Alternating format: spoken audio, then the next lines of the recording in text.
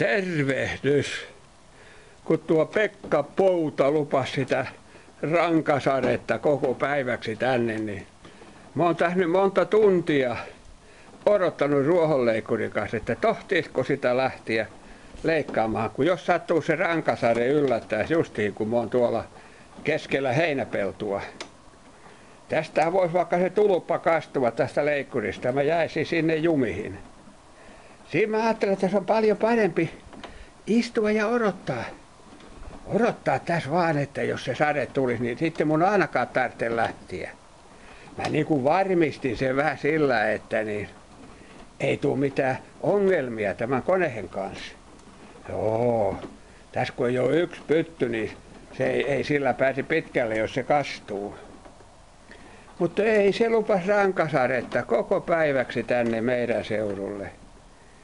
Ei sitä vaan näy, eikä kuulu. Mä nyt kolme ja puoli tuntia on tässä ollut ja odottanut, että ei mun kannata mennä, jos se sattuisi tulla sitten justiin. Tämä on tällaista tämä maanviljelijän elämä täällä landella.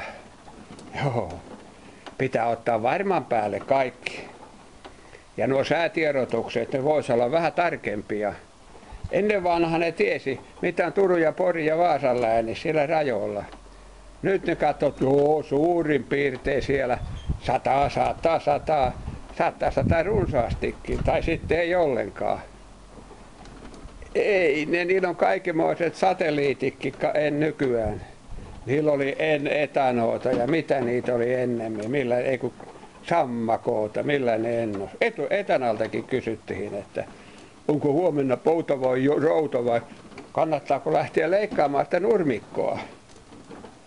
Joo, kun mä vielä tässä odottelen vielä jonkin aikaa, jos rupeaa satamahan, niin mä voin varmistaa sillä, että ei mun tarvitse lähteä leikkaamaan.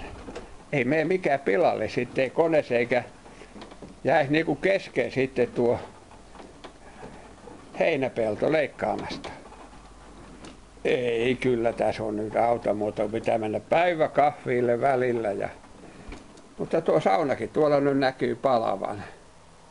No, meinasin, että mä menen saunaan, kun mä oikein hiostun tuossa heinäpellolla, mutta kyllä mä sinne muuten voi mennä. Joo. Tämähän on tämä joku, mä että ostaa se robotti sinne nurmikkoon. No mutta kastuusa sekin. Ei se tiedä Pekka Pouran ennustuksista, koska sinne kannattaa mennä. Niin. Kyllä tämä tällainen tavallinen moottorikone, tämä on hyvä. On. Ja niin kuin mä se kannattaa ottaa varman päälle.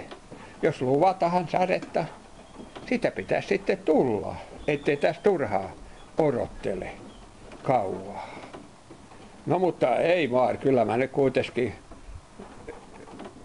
odottelen vähän aikaa vielä ja mä paan tää konehen tuonne talliin siksi aikaa, että mä sitten illalla, jos rupeaa satamaan, niin mä tiedän varmasti, että ei mun tarvitse lähteä leikkaamaan. Tällaista tämä.